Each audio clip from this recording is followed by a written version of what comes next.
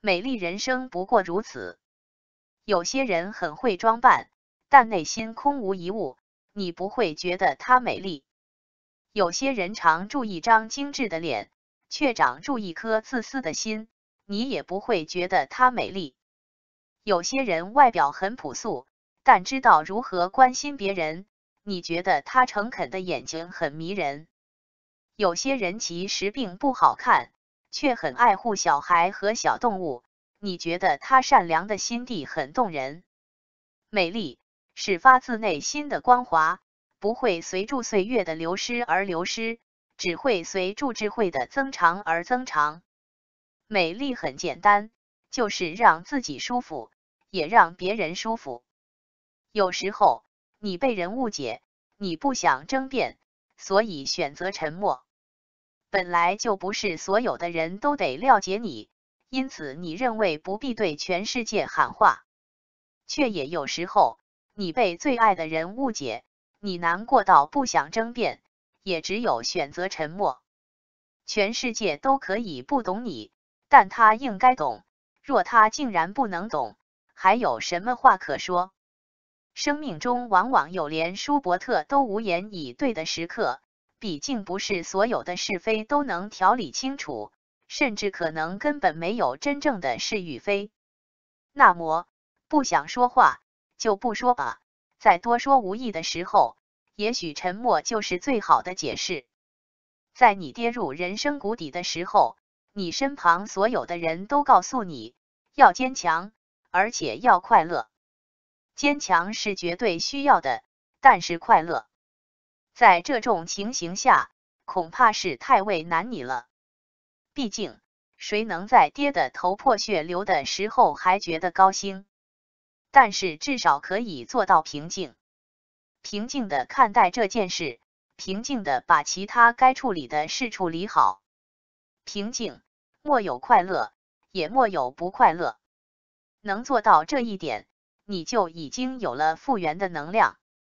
与别人发生了意见分歧，甚至导致言语上的冲突，所以你闷闷不乐，因为你觉得都是别人恶意。别再耿耿于怀了，回家去擦地板吧。拎一块抹布，弯下腰，双膝住的，把你面前这张地板的每个角落来回擦拭前进。然后重新反思刚才那场冲突所说过的每一句话。现在你发现自己其实也有不对的地方了，是不是？你渐渐心平气和了，是不是？有时候你必须学习弯腰，因为这个动作可以让你谦卑。劳动身体的同时，你也擦亮了自己的心绪，而且。你还拥有了一块光洁的地板呢，这是你的第二个收获。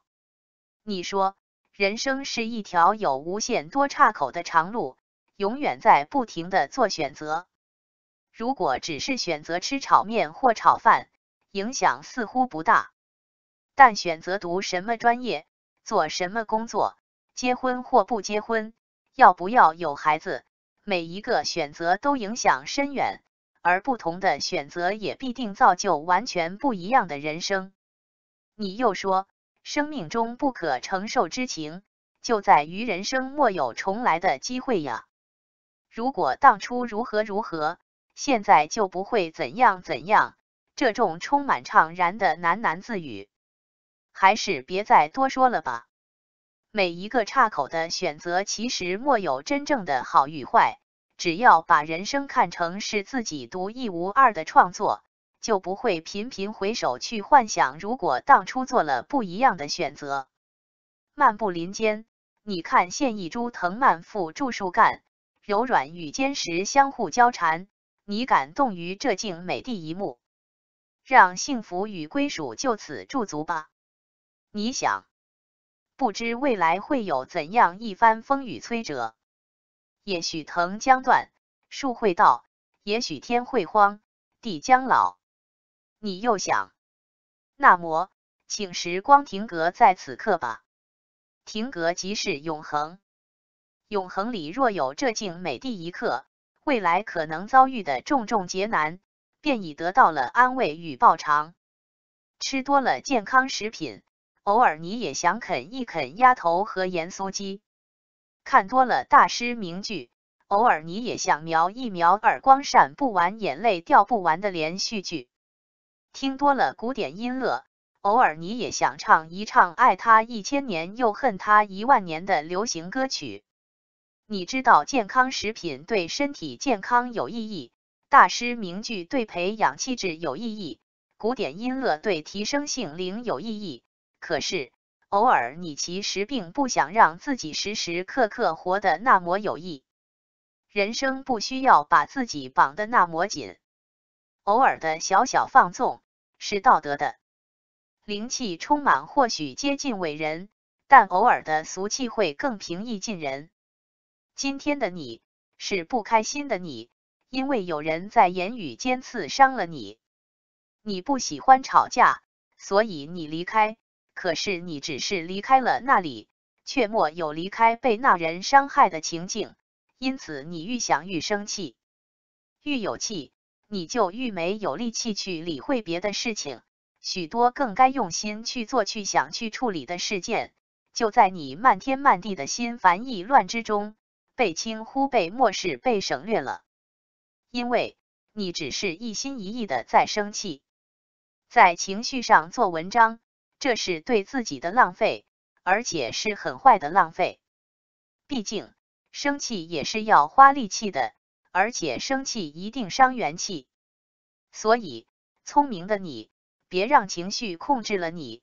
当你又要生气之前，不妨轻声的提醒自己一句。别浪费了。你曾经买了一件很喜欢的衣裳，却舍不得穿，郑重的供奉在衣柜里。过了许久之后，当你再看现它的时候，却发现它已经过时了。所以你就这样与他错过了。你也曾经买了一块美味的蛋糕，却舍不得吃，郑重的供奉在冰箱里。许久之后，当你再看现它的时候，却发现它已经过期了，所以你也这样与他错过了。没有在最喜欢的时候上身的衣裳，莫有在最可口的时候品尝的蛋糕，就像没有在最想做的时候去做的事情，都是遗憾。生命也有保存期限，想做的事该趁早去做。如果你只是把你的心愿郑重的供奉在心里，却未曾去实行，那么唯一的结果就是与他错过，一如那件过时的衣裳，一如那块过期的蛋糕。某次你搭火车打算到 A 地去，中途却忽然临时起意在 B 地下了车。也许是别致的地名吸引了你，也许是偶然一瞥的风景触动了你。总之，你就这样改变了本来预定的行程。然后经历了一场充满惊奇的意外旅行。A 地是你原先的目标，B 地却让你体会了小小的冒险。回忆起来，你说那是一次令你难忘的出轨经验。生命中的许多时候不也如此？心无旁骛的奔赴唯一的目的，不过是履行了原本的行程而已，离开预设的轨道。你才有机会发现其他的风景。曾经有一段时间，你心情低落，甚至懒得拉开窗帘，看住窗外的阳光。因此，你当然也忘了去看看窗台上那一盆每天都需要喝水的玛格丽特。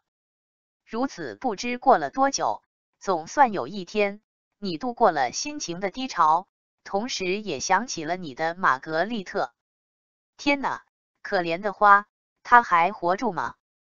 你战战兢兢的拉开窗帘，却见它迎风招摇，花颜可掬。原来在过去的这段日子里，你虽然忘了喂它喝水，老天却莫忘了以雨露眷顾他呢。许多事物悄悄的在你的视线之外进行，而且悄悄的安排好了他们自己。天生万物，天养万物。一切其实无需担心，因为思虑过多，所以你常常把你的人生复杂化了。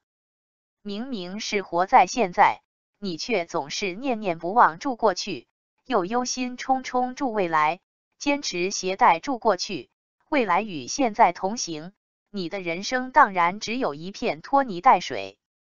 而单纯是一种恩宠状态，单纯的以皮肤感受天气的变化，单纯的以鼻腔品味雨后的青草香，单纯的以眼睛扫描远山近景如一幅画，单纯的活在当下。